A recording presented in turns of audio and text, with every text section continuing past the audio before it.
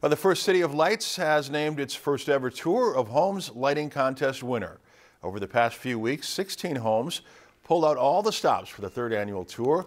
Homes from all over the Bemidji area competed for the top prize that was judged on by a panel of, of course, judges. While the winner says decorating is a lot of work, it's good to have a plan in place when doing a large-scale display. Uh, it's it, it's time consuming. you know, we, we bring everything out of the shop, we plug everything in, we fix things that don't work, and then we start bringing them in by groups. You know, we go finish a section at a time, and once we're done with that section, we go start on the next one. The winning home is location 15 on the tour map and is located about 12 miles south of Bemidji. Some nice lights there. If you enjoyed this segment of Lakeland News, please consider making a tax-deductible contribution to Lakeland PBS.